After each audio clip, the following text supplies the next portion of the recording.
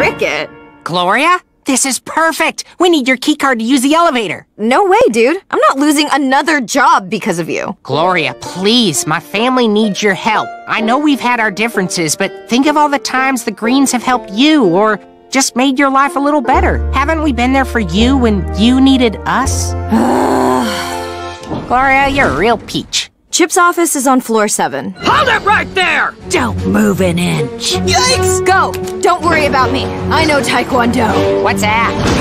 Purple belt, don't fail me now! So I guess this means I'm fired, huh? Hmm. Eh, down we go! Success! Ooh, ow, ow, ow, glass.